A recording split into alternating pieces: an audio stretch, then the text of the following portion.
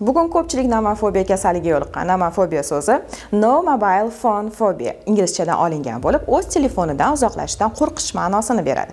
Fobiya ya'ni qo'rquv kasalliklarining ommabop turidir.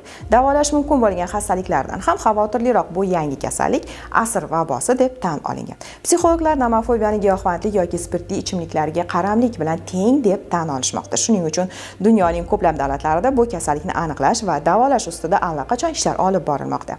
Bugun dunyo bo'yicha 7,2 milliarddan ortiq odam o'z mobil telefoniga ega. Bu dunyo aholisining 91 foizini tashkil qiladi. Gadjetlar shu darajada ommalashdiki kichik yoshdagi bolalar ham ota onasining telefonidan cheksiz ravishda foydalanmoqda. Saudiya arabiston va iordaniya o'tkazilgan tadqiqot natijasiga ko'ra bu ikki davlat aholisining 51 foizdan ortiqrog'ida telefonga qaramlik tashxisi qo'yildi 5191 kishi ishtirok etgan so'rovnomaning 26 foizida ishtirokchilar telefonsiz qolish qo'rquvi bilan yashayotganini va bundan bilan davolanish istagini aytishgan. Tadqiqotlarga ko'ra odam o'rtacha o'yin ijtimoiy tarmoq va boshqa ilovalarga kuniga 4 soat vaqt sarflaydi. Bu haftasiga 28 soat degani. O'rtacha foydalanuvchi kuniga telefonni 2617 marta telefon ekrandan foydalanadi. So'rovnomaga ko'ra 18-29 yoshli smartfonlar egalarining 22 foizi o'z telefonini soatiga bir necha marta ko'zdan kechiradi. Dunyo mamlakatlarini xavotirga solayotgan bu holat haqida o'zbekistonda hali biror tadqiqot o'tkazilmadi. Bir vaqtlar gazeta yoki kitobni ko'p o'qish ham ko'zga zararli hisoblangan. Lekin bugungi kun muammolari oldida u hadiklar o'yinchoq bo'lib qoldi. Inson gazeta o'qiganida odatda gazetani 40 santimetr masofada ushlaydi kompyuterda ishlaganida esa 60-70 santimetr masofa saqlanadi.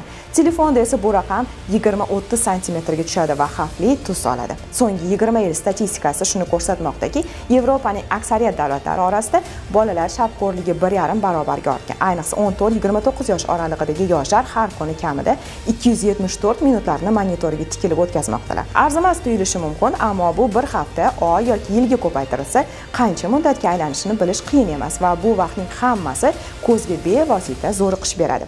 Qaramlik qurboni nafaqat ko'zlarimiz balki miyamiz hamdir. Xitoylik olimlar tomonidan olib borilgan tadqiqotda smartfonlarga qaram odamlar miyaning kognitiv funksiyalari ijodkorlik aqliy moslashuvchanlik va ma'lumotni idrok etishda ravonlik uchun mas'ul bo'lgan kamroq faol qismlari borligini aniqladi.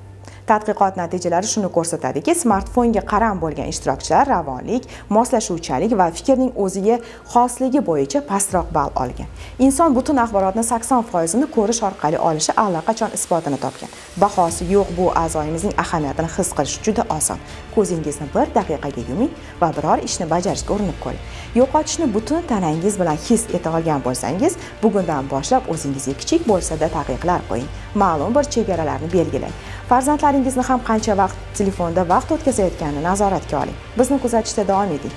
O'zingiz va yaqinlaringizni e'tiborsiz qoldirmang.